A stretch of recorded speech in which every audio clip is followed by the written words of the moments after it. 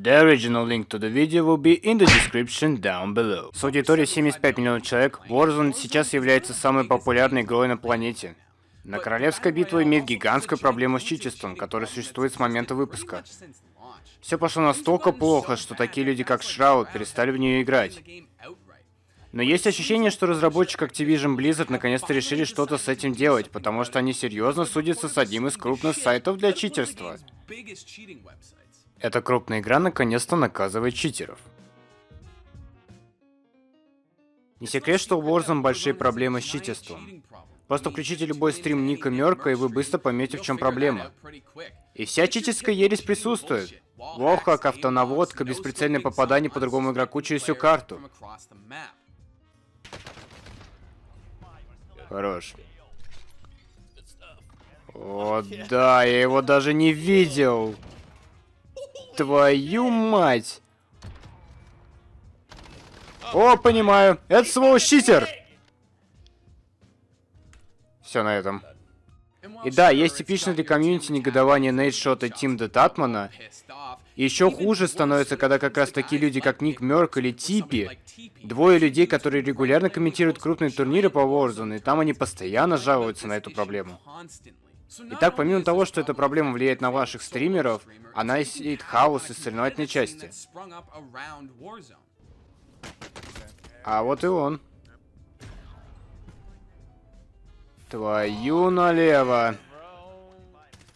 Этот чувак даже нас толком не видит. Что? Он хакер. Он хакер.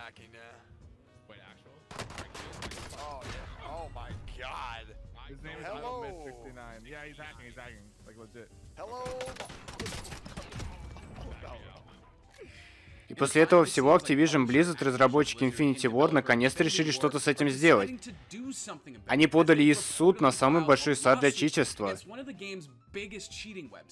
CXCheats.net — тот самый читерский сайт, который действует по стандартной модели. Вы платите определенную сумму, чтобы получить доступ к множеству читов. Да, мы говорим по слухам, потому что ни Activision, ни Blizzard, ни Infinity Ward не делали официального заявления по поводу данного иска. Мы же знаем о том, что возможно присутствует и через заявление самого сайта. В Discord-сервере 27 августа вышло вот такое заявление. Цитата. Как некоторые из вас, возможно, знают, Activision подала иск против CXC.net и дала нам понять, что наши услуги нарушают их условия использования. В результате нашего судебного процесса с Activision мы согласились прекратить разработку и поддержку всех продуктов и услуг, связанных с Call of Duty, продаваемых через сайт. Эти продукты не будут возвращены на cxcheats.net в любом виде. Вы также должны знать, что использование сторонних инструментов Call of Duty может привести к приостановке или бану вашего аккаунта компании Activision или разработчиками игры. Мы приносим извинения за любую боль, которую причинили игрокам Call of Duty. Конец цитаты. То, как они выпустили это заявление, складывается ощущение, что это какая-то мега-корпорация, которая 72 часа стратегически готовила ответ. Очень странно. Множество людей онлайн сразу же отметили, что это не решит все проблемы, но наконец-то начали что-то делать. Судебный иск был подан после множества жалоб на проблему с читерами. При этом Infinity War оставались в стороне от вопроса. Было несколько вспышек банов, но ничего серьезного, чтобы могло остановить безжалостных читеров. И последнее, что Activision Blizzard или Infinity War говорили по этому поводу перед самым иском, было заявление от самого Infinity War, сделанное 24 июля. И оно смехотворное. Цитата. «Пожалуйста, не используйте несанкционированное стороннее программное обеспечение для модификации или взлома. Это включает в себя такие инструменты, как 16-ричные редакторы, которые оснащают вас предметами, которые вы не получили должным образом. Мы определяем это как мошенничество, и в нашей игре для этого нет места. Это наказуемое действие, и вы рискуете потерять свой аккаунт. И да, они вкратце сказали, что читисту это плохо, не делай этого. Это заявление ожидаемо стало мемным, и все комьюнити кода решило покритиковать Infinity War за то, насколько это не является ответом в вопрос о читистстве. И да, можно посмотреть на этот иск как ответ сообществу и сказать «Мы слышим вас». Но также понимать, что сделать придется гораздо больше, чем просто забанить людей. И несмотря на то, что есть прямая причина для иска, то, что мы для этого обозревали до этого. Но есть очень странная законодательная лазейка. Смотрите, чичество в Warzone или любой другой игре не считается нарушением закона. Чичество в игре не идет против закона. И для того, чтобы Activision Blizzard смогла бороться с этими сайтами в суде, им нужно подойти к этому по-особенному. Им, по сути, нужно судиться за нарушение авторских прав, что они проворачивали до этого с Overwatch, еще одна их игра, у которой были колоссальные проблемы с читерством. В 2017 году Activision успешно подала в суд на сайт с читами. Сумма иска составила аж 8,6 миллиона долларов. Этот сайт был обвинен в 42 тысячах случаев нарушения авторского права. В этой ситуации они жаловались, что этот сайт провел инженерный анализ и изменили Overwatch без их разрешения. По информации многих источников, этот сайт решил не отстаивать право в суде. И есть ощущение, что либо они слишком много зарабатывают, что могут проиграть этот иск на 8 миллионов долларов и даже не моргнуть, или они реально не могли защищаться, поэтому решили не приходить в суд. И этот сайт даже не закрылся. Они просто не могли больше предоставить свои услуги Великобритании, потому что, цитата, «представляет собой нарушение прав интеллектуальной собственности Blizzard и побуждает игроков Blizzard нарушать свои соглашения с Blizzard».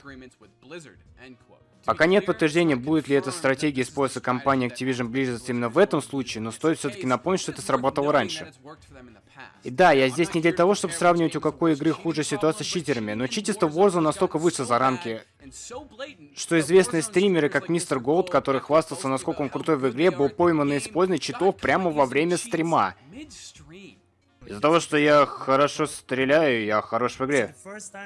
Это первый раз, когда вы увидите кого-то реально хорошего в игре. Сейчас я говорю с вами, потому что я играю. А потом смотрю только в чат, и что происходит? И да, этот дебют тут же был забанен на Твиче. И на данный момент мы больше ничего не знаем по поводу иска, но спасибо заявлению из Дискорда, который сделал сам этот сайт, мы можем узнать, что почти все операции были закрыты и остановлены все услуги, из-за чего недовольно было множество клиентов. Итак, остановит ли этот иск людей в использовании читов? Конечно нет, но это явно шаг в правильную сторону. И мы недавно узнали о новой игре франшизы Call of Duty Cold War.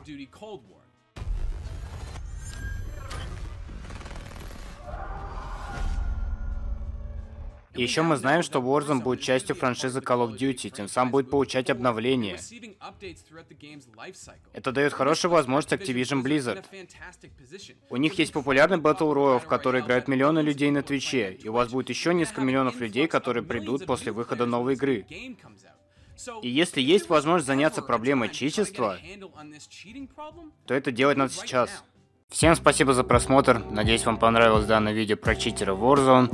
Не забывайте подписываться на наш канал, ставить лайки, писать комментарии. Не забывайте, что каждый комментарий для нас важен. Вступайте в группу ВКонтакте, чтобы не пропускать анонсы наших следующих видео. Если вы хотите поддержать канал рублем, ссылка на Donation Alerts есть внизу в описании. Всем до скорой встречи и увидимся в следующих роликах.